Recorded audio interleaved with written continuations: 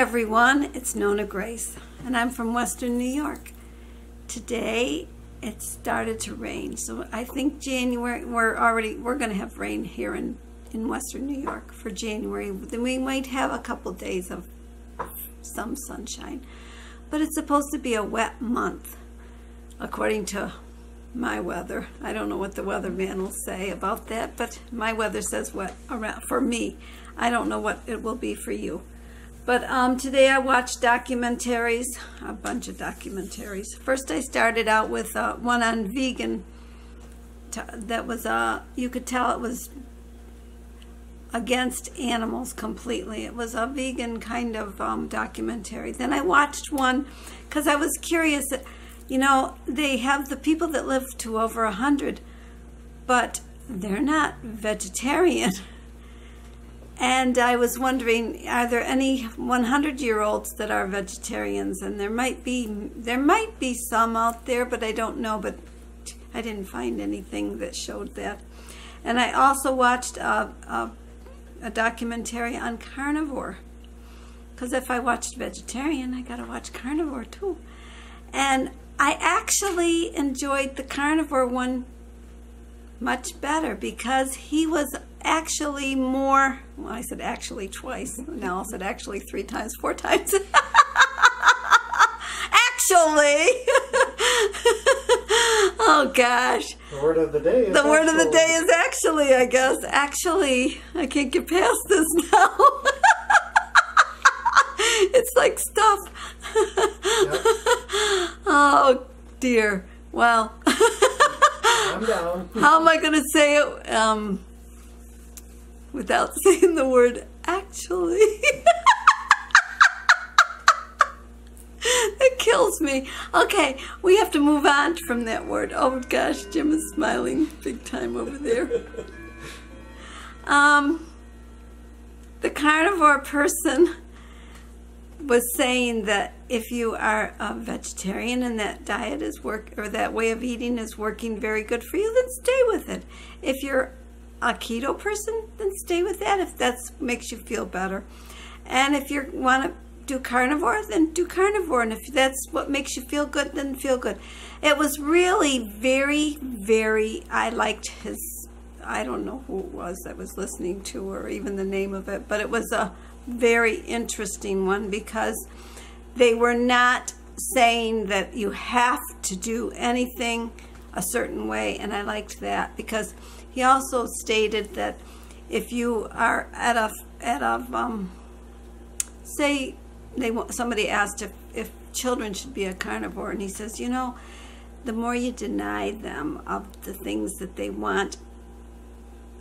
Um, like if they went to a birthday party, they're going to have cake. If you tell them they can't have cake, they're going to wish they're going to get the biggest piece or something. They're going to so let them let them enjoy that moment just don't bring it into your house. Which, when the, our kids were littler, I did not have a sweet tooth.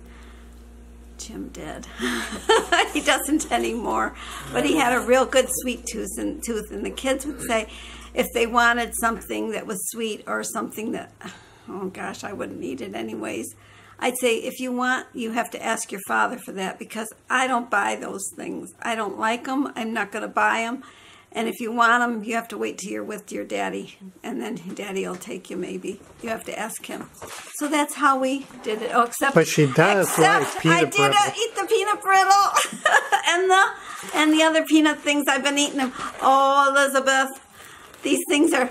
I'm I'm going slow on them. How how long have I had it? A few weeks. A couple weeks, yeah. I'm going slow on it. But I she did, does eat sweets. I do eat sweets now. I didn't, you know, when I had sugar in my coffee, uh, these would have, this would have sat there for, I don't know when, uh, the kids would have had to eat it for me, or Jim would have eaten it for me because he was big. He used to eat the frosting off the cake. I always okay. took the frosting off the cake. I never liked it. Um, and if I had cake, I had to have ice cream just to help wash down that cake because I didn't like it. And I only liked certain certain pies. I didn't like all pies. Um, and I hated cherry pie. That was the worst. And now cherry pie is pretty good, but it's my homemade cherry pie if I make it. But any back off of that stuff that's because we don't need to talk about sweets because some people don't want to eat sweets. But if you do and you have it now and then, it's okay. Now, yesterday I did have some potato chips. My granddaughter brought a bag of, um, Snyder's. Sni- yeah, they were uh, Snyder's salt and salt and vinegar. And I said, oh, ho, ho, ho, ho, you're going to kill your Nonna because I don't buy these things. And if I do buy them, I won't open them because, in fact, I had a bag of potato chips in the freezer for over a year just because I wanted to know they were there. And it was just a little personal size bag, and it was in the freezer for over a year. Well, I ate it one day. I did eat it finally, but it was there for over a year. So that's what the way I I like knowing it's there, but I don't have to eat it. And for oh, we forgot to put Jake in his house. Ooh, I hear his feet. Do you hear his feet? Those are his nails because he won't let me cut them. What are you doing? Hey, go lay down. Where are you going? You didn't say go in my house. In your house. Go. Now he'll go. No, uh, uh, that's not your house. Oh my, he's not listening. He's he's being disobedient. Come on, Jake. In your house. Good boy. Okay, he's in his house. Took him a little bit. He was he was testing, just like the kids do. They test. Well, I guess that's it for today. I hope you all had a good good um, day. I just watched documentaries. I answered my comments, and um, it's been a quiet day. My son is cooking dinner for us today. What are we having? Pa- patio Patio steaks. I have never heard of patio steaks. Have you ever heard of patio steaks? If you have, put it in the comment of if you've had them before. I've never heard of them. He went to our, our nice little meat market, Tuscany's, which he wishes he had in Indiana, but he doesn't have one of those. And he bought olives and he bought mozzarella um, balls and he bought some cheese curd and um, this stuff they don't have over there like we have. I can get the cheese, Cheese curd. curds, but they don't have the sausage. They don't have our sausage, and we have the best sausage in town, other than those of you that make your own sausage and have the best sausage in town. so, well, that's it for today. And let me know if you've ever had patio steaks. And I'll talk to you tomorrow. Bye.